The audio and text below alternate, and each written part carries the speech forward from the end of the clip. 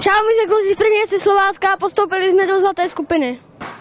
Náš nejlepší zápas byl s Duklou Prahou, protože jsme prohrávali a otočili jsme to na 2-1.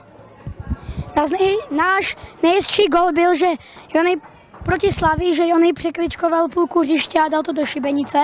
A náš nejhezčí zákrok byl proti Sigmy, proti Sigmě, že Šimon vychytal šibenici.